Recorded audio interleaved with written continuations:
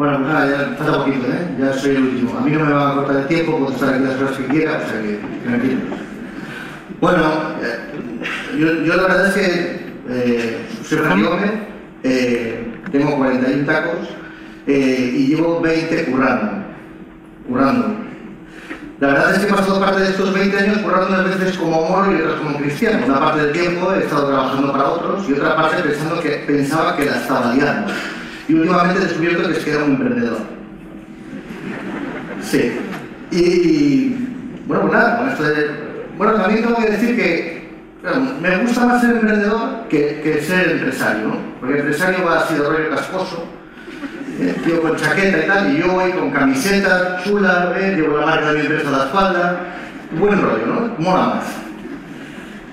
Bueno, nada, emprendedor, venga. La verdad es que, eh, bueno, he montado varias empresas, unas me han salido bien, otras me han salido mal, he currado para unos, unas veces he salido bien, otras veces hostiado, pero, pero bueno, me he ido ganando la vida, he comido siempre al final de mes. Y una de las cosas que, he ido valorando desde el periodismo es que te vas formando, vas buscando iconos, ¿no? Para decir, bueno, ¿de qué va esto? ¿De ser empresario? ¿De qué va esto de ser emprendedor?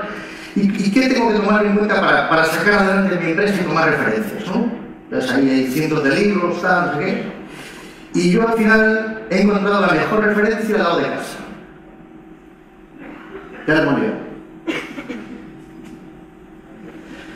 Esto, hace 25.000 años, era lo máximo en innovación. No, no, no. Esto es la hostia. Esto le metes cosas por un lado y saca cosas por el otro. Esto, esto bien llevado, esto bien llevado da leche. Es una fábrica de energía. Esto lo pones a tirar de cosas y hace la de Dios. Da carne y luego ya después de que te lo comes estás es un abrigo. Esto hostia. Esto, esto, lo del sigue con Mayo es una cachondeo, hostia. Y esto es lo que para mí es una empresa. Y tiene un montón de paralelismos con lo que hoy es una empresa. Lo que pasa es que es mucho más interesante leer libros complejísimos, quizás. Pero yo creo que la vaca es el, mejor ejemplo. Evidentemente, si no eres un emprendedor, la vaca pues, no deja de ser un animal. Hay que rentabilizar esa cosa. Bueno, dice un tipo que se llama Villat Savary, no sé si alguno por aquí sabe quién es Villat Savary, pero si no lo cuento yo. Es un tipo que hace, por el 1700, escribió un libro por el cual hoy todos comemos como comemos, ¿vale? O sea, primer plato, segundo plato, los vinos, ¿sabes? Es el inventor o el creador de la argumentación. Y dice que cocineros se hacen, pero asador se nace. Así que lo que yo creo que viene a decir es que uno puede llegar a manejar con cierta soltura las recetas de cocina, es decir, gestionar, pero emprender, crear, construir, ese toque, hay que nacer. Así que yo creo que también para ser emprendedor hay que nacer, ¿vale? No sé si habéis visto unas vallas por las carreteras ahora que ponen emprende, ¿eh? que es algo así como animarte a que te tires al vacío, venga, monta una empresa ya, sal de las listas del paro, pues, que, te, que sumes en otra. Pues sí, yo yo lo veo y me amarga, porque digo, no sabe dónde se va a meter, el que se mete aquí, yo sí, pero tú no. Y, y esto, esto es algo importante a tener en cuenta. Esto eh, es, es, en general lo que al final nos pasa, ¿no? que la gente se tira a montar empresas sin darse cuenta de que al final detrás de eso lo que va a haber es principalmente sufrimiento. Bueno, es importante la formación, es importante que tú tengas una formación y que con, con esta formación tengas una iniciativa emprendedora. ¿vale? Es, es, es, es, cierto de que si tú tienes la, la, habilidad, en tu, tienes un conocimiento, pues puedes decidir sacar adelante tu empresa. Pero también es verdad que puede ser que la hayas mamado en casa, ¿no? en tu casa a la hora de comer tus padres hayan hablado de su hogar, de sus expectativas de negocio, de su negocio liberal, pero es cierto que la formación ayuda. Pero sí creo que es necesario vivirlo. ¿no? ¿Cuántos de vosotros no habéis eh, tenido una idea? Casi todos habéis tenido una, ¿no? Casi todos os pasa por la cabeza, vais por ahí, esto lo hacía yo mucho mejor. Esto me pongo yo y lo hago, pues no. O voy a hacer una vacuna para librarnos de la estupidez, o del mal gusto. ¿Eh? Esto porque no está hecho. Nos vendría genial, eso sería todo mucho más bonito, mira los arquitectos, como haría si no hubiese gente con mal gusto, ¿no? Entonces, el problema no es tener la idea, la idea llega fácil, la idea llega así, que tú vas por la calle, esto, vamos a hacer esto. Esto, esto, pero eso, cuando das la vuelta a la esquina, uh, se fue. Si la cueces, si esto perdura, entras en la fase de enfermedad. Entras en la fase en la que tú comienzas a proyectar eso, a trabajar en ello. Cuando le dedicas ciertas horas, esto comienza a convertirse en un problema, porque terminas haciendo gráficos en las servilletas de los bares, haciendo business planes ahí. Sumas y restas con la calculadora, no duermes, le empiezas a dar vueltas, empiezas a decir, si tú supieras lo que estoy liando. Si tú supieras lo que estoy liando, no me, no me decías esto a mí a la cara aquí en el trabajo. Y la terminas liando. Te montas un business plan, tienes una idea cojonuda, a cagar pasta. Esto, esto a cagar pasta. Sí, sí. Verás tú. Esto traga pasta. Sí, sí, sí. Esto traga pasta todos los días. Y tú te pones en modo ahorro, ya la idea no está buena. Vale, pues la realidad es que tú cuando te montas todo tu tinglado y estás en marcha con esto, lo que encuentras es que te has comido la pasta del paro, te has comido el día a día, el tiempo, y seguramente ya te estás comiendo los ahorros o dinero de tus padres, tu madre, tu familia, amigos y vecinos. Ahí va el business plan. Este es un momento muy delicado. Este es un momento en el que nos convertimos, los emprendedores somos un mercado en este momento. Somos unos tipos a los que se nos puede vender de todo, porque la mayoría estamos en este punto. Y yo, como otros muchos, hemos pasado por aquí. Y esto hace que estemos muy sensibles a las palabras clave. ¿eh?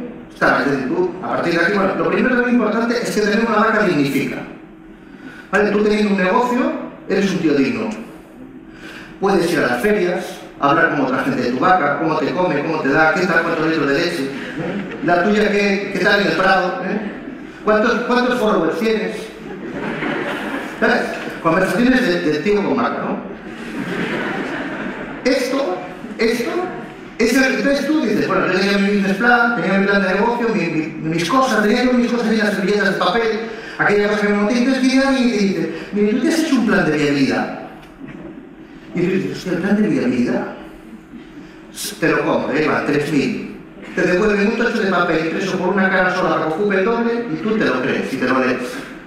Y luego te dicen, joder, tienes cocina, tío, en, en tu oficina. Y dices, joder, cocina, vete a Google. Te vas a Google y dices, verdad, no tenía cocina yo aquí, joder. Me faltaba la cocina. Luego dices, claro, no interpreté bien los TED, no había aprendido bien inglés, es el momento. Me lo, me voy, me voy a aprender en inglés. Y esta etapa es en la que más te formas.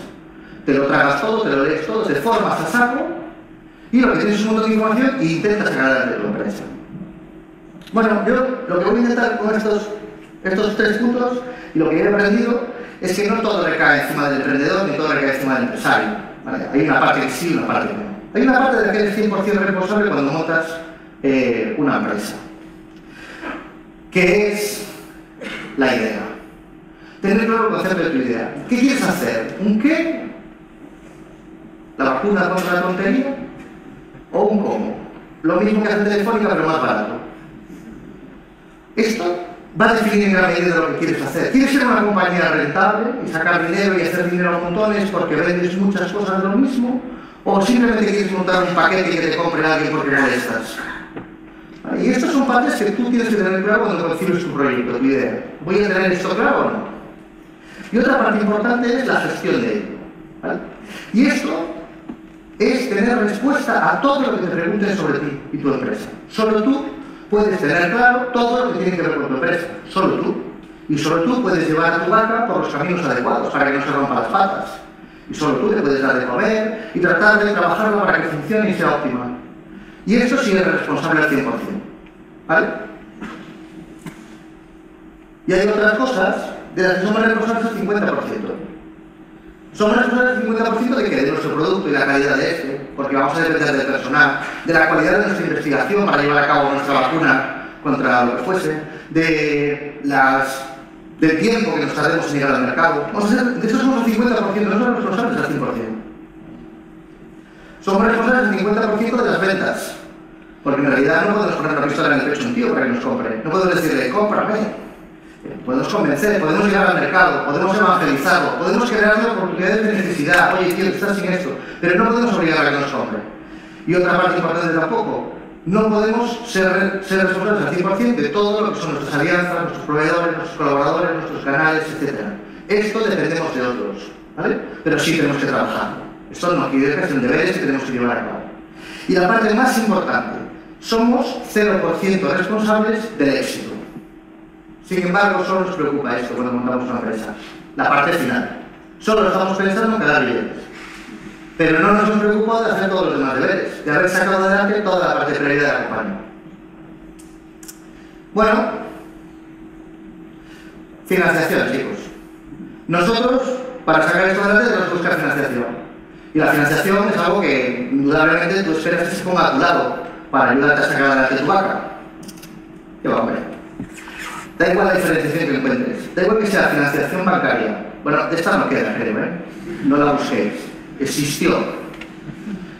Luego tienes el capital privado, gente que te puede prestar dinero y tú le das un trozo de tu vaca, o subvenciones, o algo por el estilo. Igual hay alguna otra fórmula, pero yo la desconozco. Tú crees que se van a poner a tu lado y que te van a ayudar, pero la realidad es que se van a poner en el lado de la promesa, se van a poner atrás de todo y van a estar esperando la pasta. Y van a querer su dinero. El dinero, en el 90% de los casos, es, es, es nervioso, ¿sabéis? ¿Eh? Negocia por cientos de miles, pero firmas en decenas.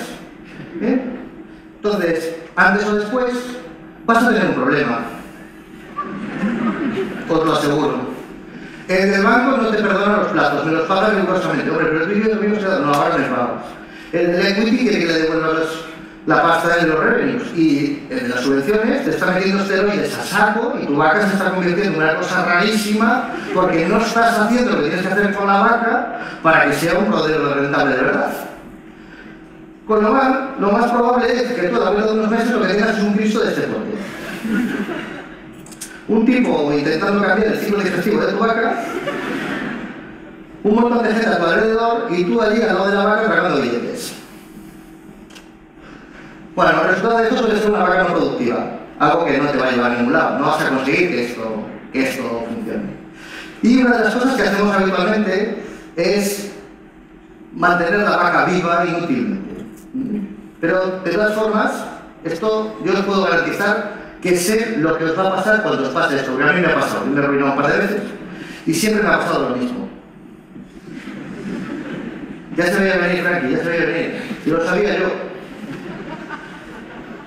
Bueno, lo bueno es que tienes un momento perfecto y algo que no hacemos como emprendedores es rentabilizar este periodo de tiempo. Y durante este periodo de tiempo hemos hecho una experiencia que pocos tienen. Nos hemos formado, hemos recuperado nuestro inglés, nos hemos visto todos los test, hemos leído más libros que nunca. Hemos aguantado las charlas de 14 tíos como yo. Es que sabéis a Dios. Entonces es el momento de rentabilizar eso. Entonces no agonices la vaca, mátala ya. Cógete las pocas proteínas que tiene y métete en un proyecto nuevo, pero rápido, rápido, a otro. Y si falla, a otro. Pero cada uno aprenderá sin alguna acertadas. Lo que no nos dicen cuando nos dicen, conviértete en emprendedores, el 90% de ellos son cadáveres. Solo unos pocos triunfan. Y que la mayoría acaban más arruinados de lo que empezaron. Por lo tanto, eh, yo os animo a que cada vez que os peguéis moción, volváis a levantaros y saquéis la nueva compañía.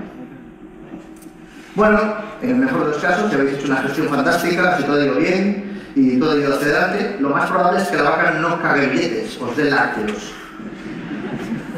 Esto es lo más probable. Quizás de los lácteos, del éxito, como residuo del éxito, obtengáis dinero. Pero solo quizás. Y evidentemente, si, lo petamos, si nos sale perfecto, si todo va súper bien, ya lo sabía yo.